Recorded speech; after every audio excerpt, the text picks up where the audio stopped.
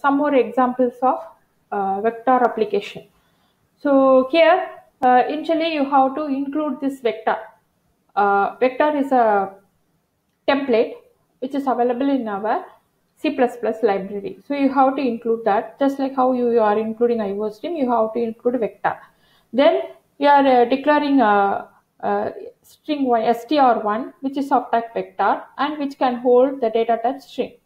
Now we are declaring some local variables. Here initially we are just printing the size of the array. Definitely this will return a zero because we don't have any, we have not initialized str1 to have some value. So in, so first it will be having zero size. So it, this will print zero.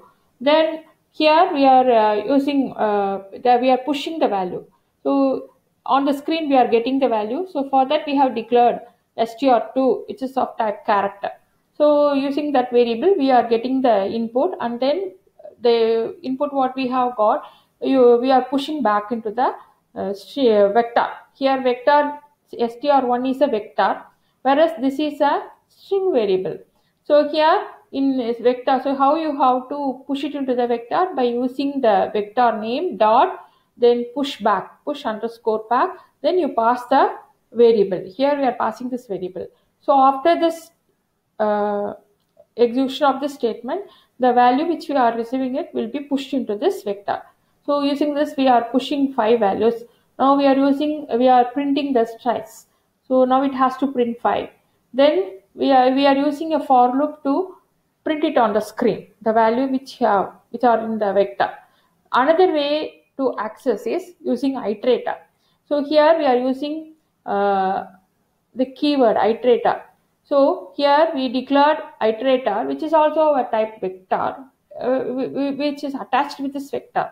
Then we declare a variable name for this iterator and we initialize the beginning of the vector. That is string 1 str1 is the vector name. Uh, so we begin and we uh, assign the variable itr here itr uh, to to the start of the vector.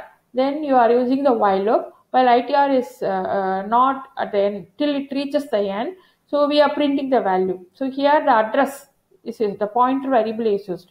And here it is uh, we keep on increasing the pointer so that it point to the next next location of this uh, str1 then pop back.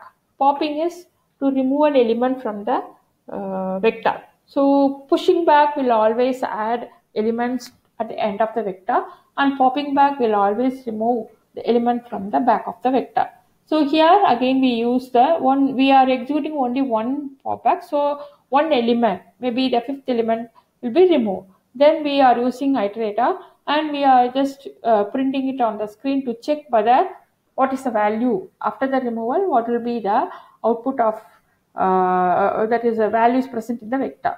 So what is the position of the vector that we are saying so for that we are using here we are using for loop. Here we have used while loop here we have used a for loop where i here we have declared it uh, it to be of a variable of type iterator and then here from starting begin till it reaches the end then it plus plus. So everything we are doing in a for loop here itself. And then we print the value. Now let us see how this program works.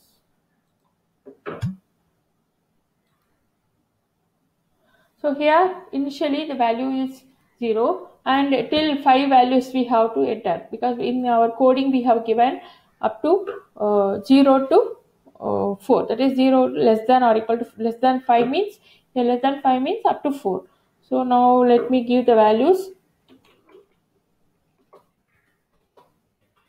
Since it receives a string i am giving a string value. See here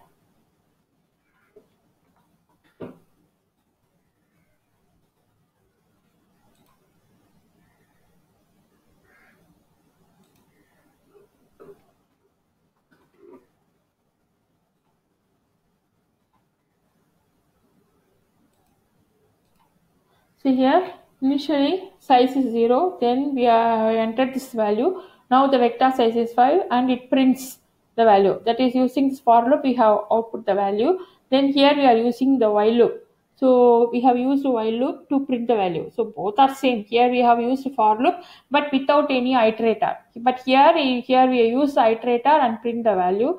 And then we have uh, pop the value. So when we pop, the last value will be uh, removed. So after that, we are again we are using an iterator that is for loop iterator and a for loop combined together. We print the value. So see here, this is that a, B, B, C, C, D, D. The, because since we have used a str1 dot pop, one value is removed. That is E is removed.